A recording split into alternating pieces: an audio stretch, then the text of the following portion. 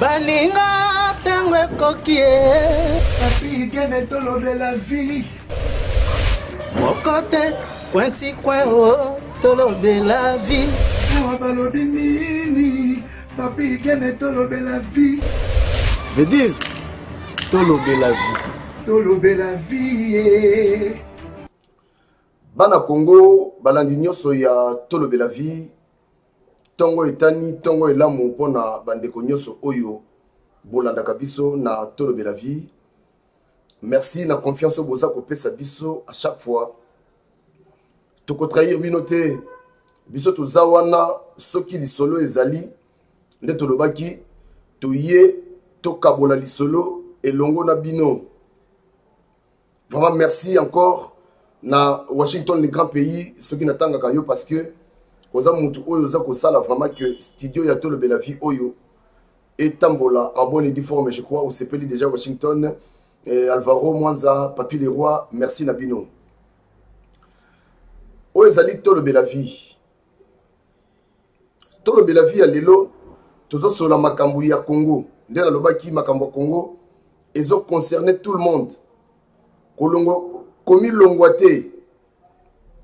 il faut okota toza na besoin na yo yaka kokota kokota na mobulu te kokota na kofinga te me yaka kokota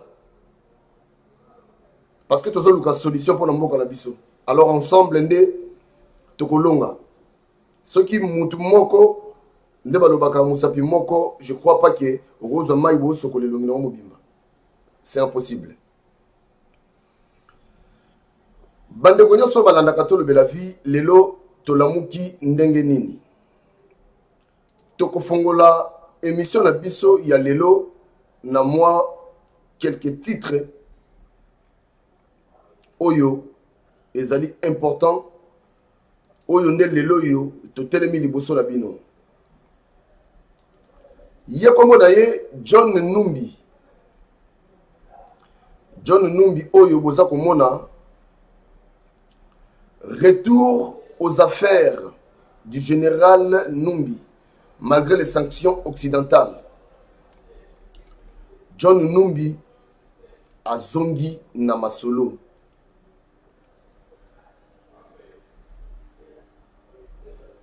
masoni john numba azongi tokodevelope yango au cours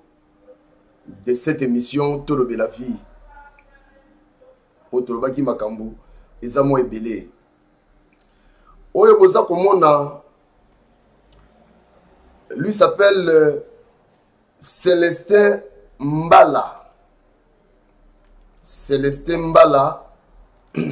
bolimbisa mwa moke mpona mongongo eza na mwa na mwa kokoso ye nkombo na ye celestin mbala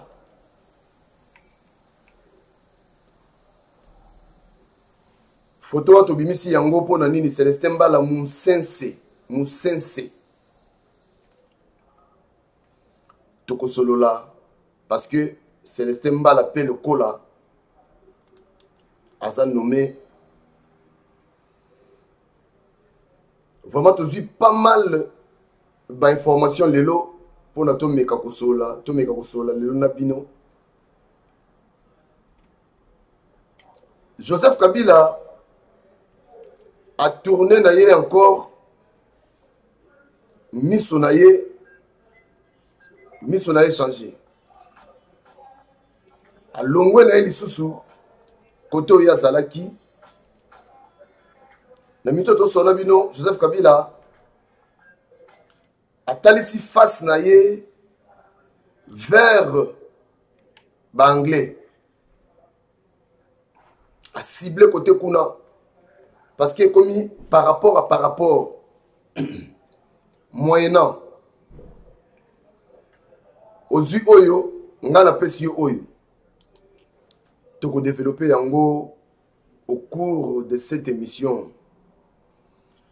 merci cher ami je crois boza déjà ebele oyo boza kolanda biso à ce net moment nalobaki ozali tolobela vie lelo vraiment esengaki ke tovanda tobeta mwa masolo oyo pouvoir ya joseph kabila ekomi na suka nde tolobaki d'ailleurs il a promis que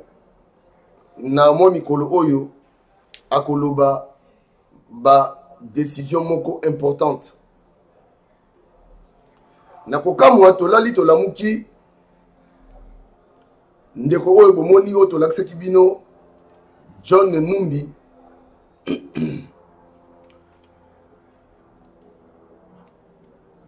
a été nommé ce samedi par l'ordonnance présidentielle l'inspecteur général de FARDC.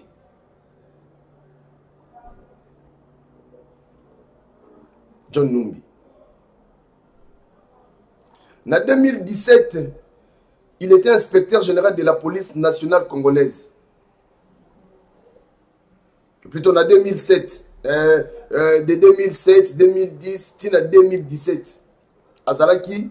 inspecteur général il y a la police nationale congolaise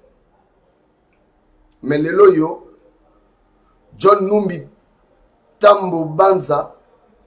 a été nommé ce samedi par l'ordonnance présidentielle l'inspecteur général de FARDC.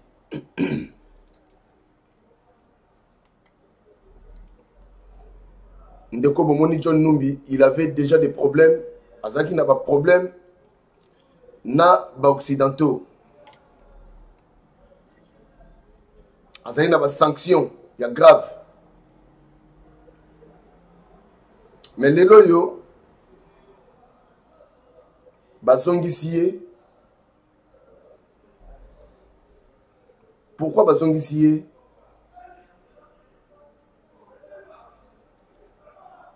kabila akomi na suka nde tolobaki il faut akende l'histoire se répète ntango ya mobutu mobutu avant akende tomonaki biso nyonso toyebi premier ministre bazwaki mbila militaire nde akomi premier c'est à dire baoccupaki baposte ba tout na bambila na bambila pourquoi soki boyebi que vous allez partir en paix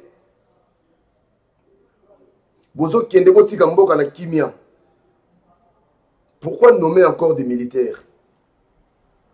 soki vraiment vous êtes conscient que vraiment ntango ekoki il faut tokende mais pourquoi baza konomele biso bamilitaire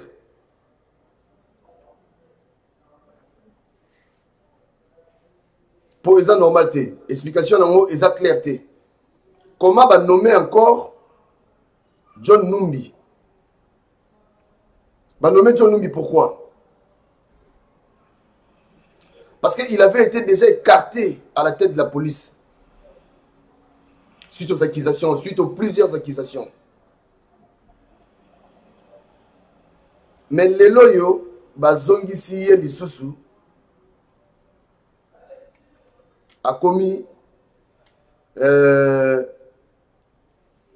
inspecteur général ya fardc tozokende malembe malembe plus loin bokomona motu oyo tata oyo tata oyo nkombo na ye celestin mbala Musense. Celestin Mbala Musense oyo aza nani? Donc, il y a des importantes nominations oyo esalami vraiment na na na na fardc il y a des importantes nominations au sein de fardc banomination eza vraiment important oyo bango bayebi pourquoi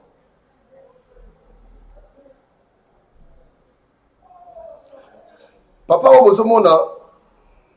celestin mbala mosese Hier, Azali, nouveau chef d'état-major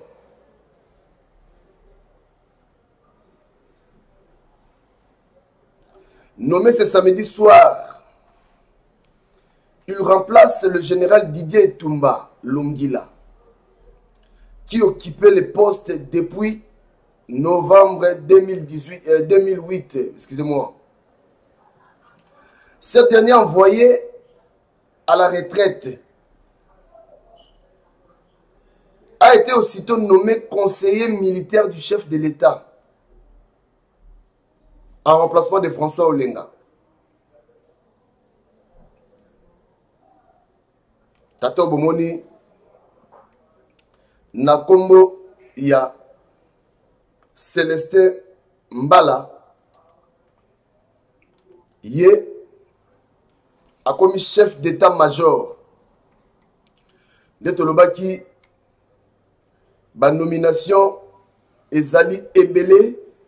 ya baposte toujours ya bambila pourquoi na temps oyo joseph kabila aponi na ye nde kotiela biso bamilitaire bato oyo bayebi déjà ke non baza déjà près de partir bato oyo bayebi déjà ke porte esi efongwami mpo na bango bakende chers amis likambo oyo il faut tomeka kotala yango nanu parce que nalobaki awa joseph kabila alobaki normalement il faut aloba alobaki makambo ya koloba eza très important tolobaki ye aza moto ya basurprise surprise yango yango oyo te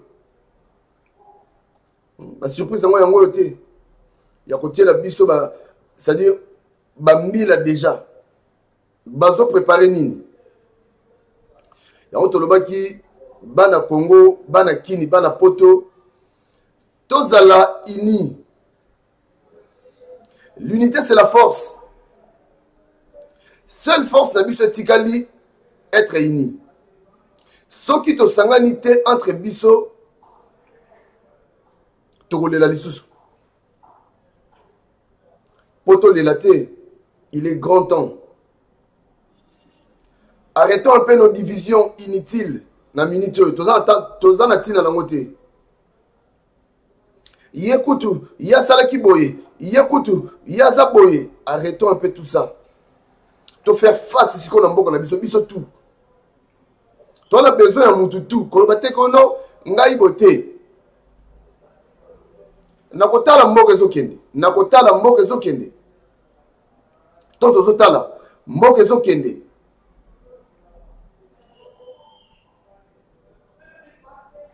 koma tokotika mboka na biso ekende boye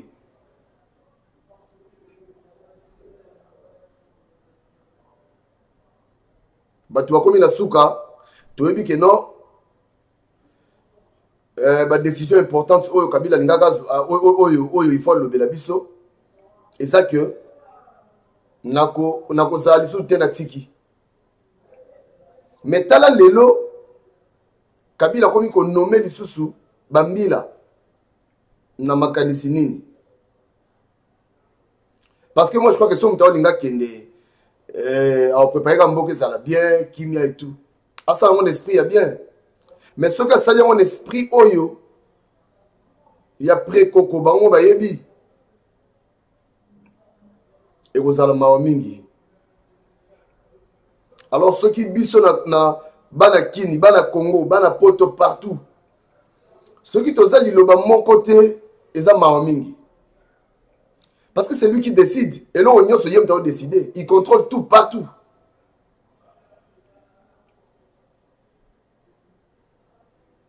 totika no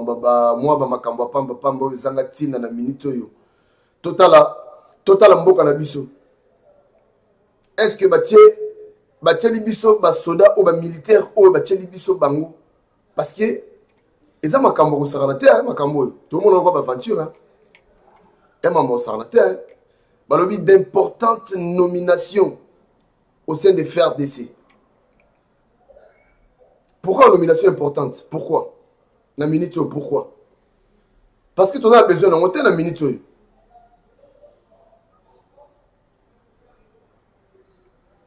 eloko nini oyo bazoprepare na nsima makambo oyo tozala wana biso toza wana mpona tolamusa bino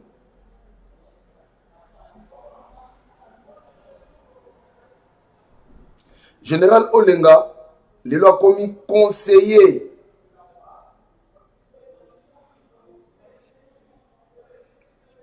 ye babendi ye donc masolo esamaki lobi bambila na bambila epuis soni te soni eza te aboo soni ya nini soni eza te bato baa na bango na besoin vraiment que bavanda na bango batikala na bango john numbi oyo makambo asala eyebana asala makambo ebele ya mabe me tala yo bazongisi ye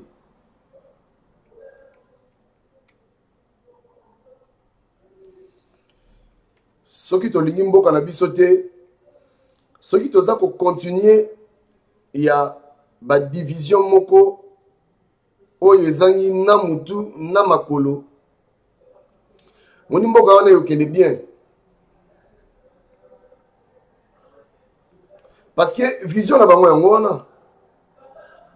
alors soki biso tolingani biso tosimbani topesani maboko je crois ke tokolonga ya nango facile mpo kabila mpe azali nzambe te mais na temps oyo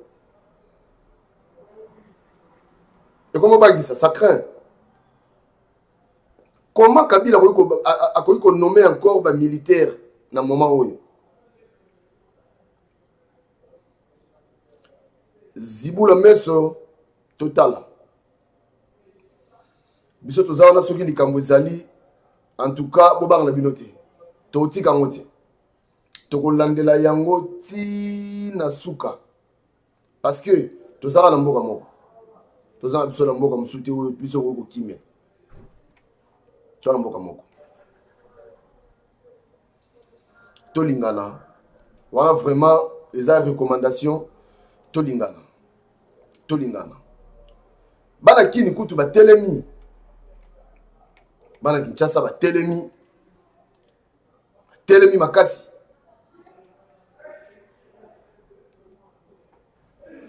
bauniversitaire batelemi balobi jamais de la vie kabila kosala troisième mandat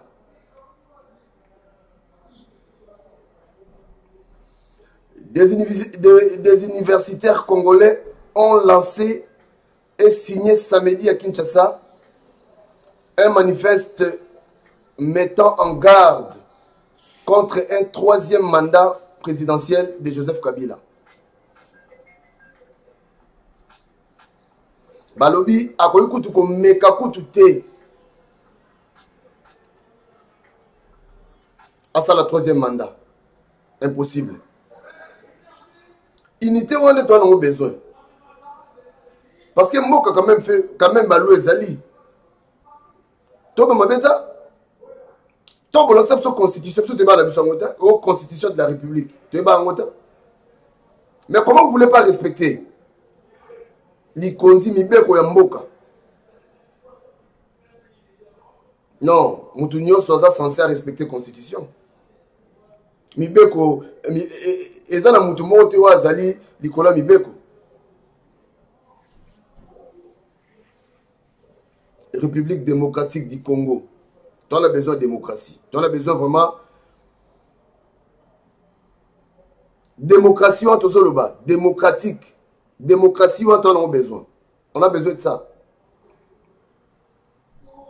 mpo soki tokomi tokomi libre so moto asali likambo ntuku oyebiseke no non osali mabe trafic d'influence na niveau moko moto okoloba te oyo moto akobengo na kinshasa alobi ah yo kutu okoya kinshasa te mais nasali nini eh, nakoloba te neti makambo oyo boye tomona te toramase yango na nzela ta makambo oyo tozwi yango wapi ya mama lokuta te tolandi yango biso nyonso na rtnc tolandi yango biso nyonso tu botondo biso na bajournaux tout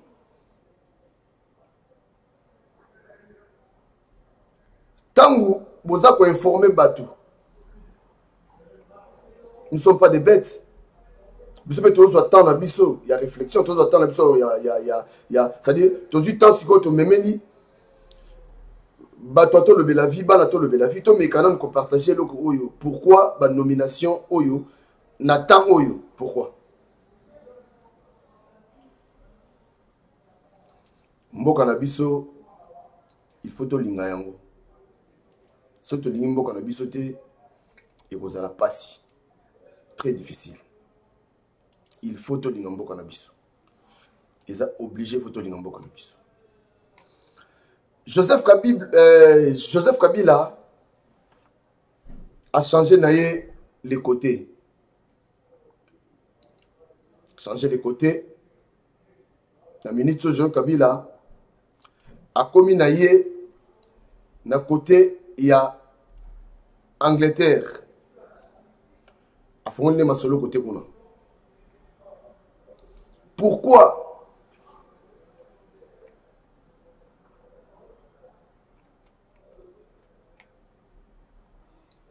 mboko eza makambo ebele pardon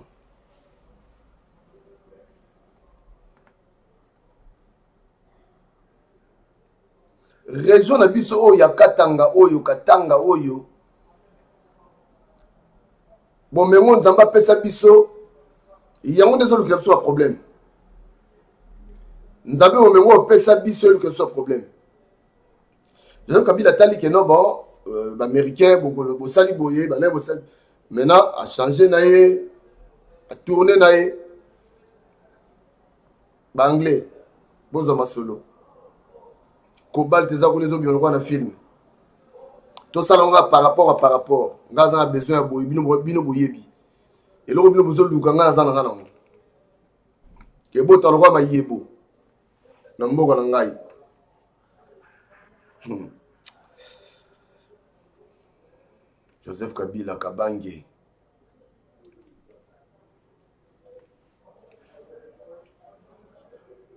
Mobutu Azala Sala 32 ans de pouvoir lelo bakunda ye na maroc mobutu mpe azali na bato bandaka mpe kokosa ye danger ayebi ke non il faut abuka lokuta mpo so abuki lokuta akozwa balare akozwa banomination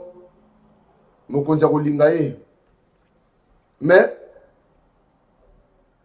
suka ya filme tula mwisi ya zaza voilà cher ami euh, moi intervention tosalaki lelo ezalaki mpo tolakisa bino déjà que baenjeu deja ekomi kochange masolo ekomi deja kochange na kinshasa parce que bango bazwa mamango sérieux alors biso il faut mpe to se préparer faut to préparer bino bato bolandaka biso boyeba deja mboka ezokende ndenge nini tolinga mboka na biso d'ici là portez-vous bien soki information mosusu ezali tokohésite te tokoya encore epai na bino mpo tomeka lisusu kosolola napesi bino lisusu mbote et restez connecté surtout partagez cette émission parce que il faut ekota partout partout partout tosala yango gratuitement c'est gratos information eza eza c'est-à-dire nous sommes obligés toyeba makambo oyo ezoleka na mboka na biso parce que toza bafils du pays reste connecté